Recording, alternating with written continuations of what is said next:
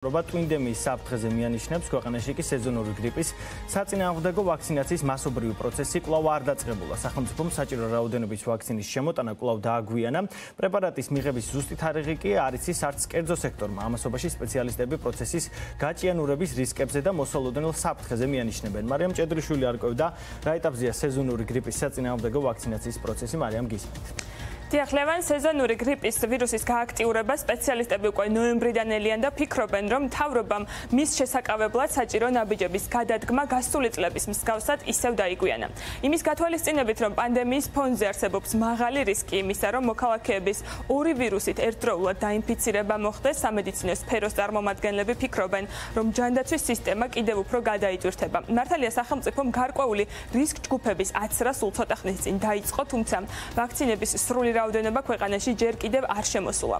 კერძო სექტორი კი კომერციულ ვაქცინებს სწორედ ამ პროცესის დასრულების შემდეგ მიიღებს. მართალია მათ ამ მიმართულებით გასულ წელს საკმაოდ ნეგატიური გამოცდილება და დიდი ზარალიც მიიღეს, რადგან მოქალაქეების მიერ ძალიან დაბალი მოთხოვნის გამო შემოტანილი ვაქცინების ნახევარიც კი ვერ აითვისეს, თუმცა შედარებით მცირე რაოდენობით პრეპარატის შემოტანას წელსაც გეკმავენ. კომპანიების ნაწილისთვის ჯერჯერობით უცნობია ვაქცინის შემოტანის ზუსტი თარიღი და ღირებულება. მცირე ნაწილს კი ვაქცინა უკვე აქვს და მისი ღირებულება 80 ლარის ფარგლებშია. სამედიცინო სფეროს წარმომადგენლების ნაწილი ფიქრობს, რომ გრიპის ვაქცინაზე მოთხოვნის გაზრდის მიზნით სასურველია სახელმწიფომ გარკვეული სუბსიდირების მექანიზმი ამოქმედოს.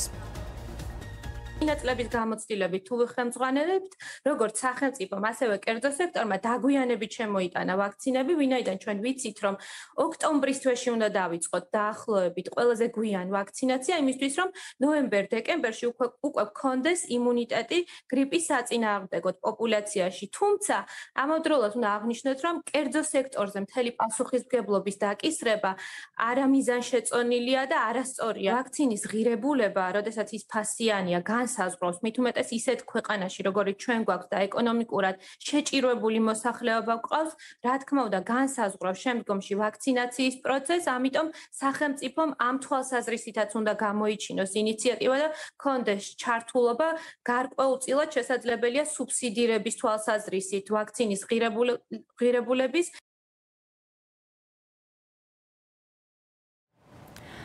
ქვეყანაში უკვე შემოტანილია 50000 დოზამდე სეზონური გრიპის ვაქცინა, თუმცა ის რისკ ჯგუფებისთვის, მათ შორის სამედიცინო პერსონალისთვის, ორსულებისა და დიალიზზე მყოფი პაციენტებისთვის არის ხელმისაწვდომი.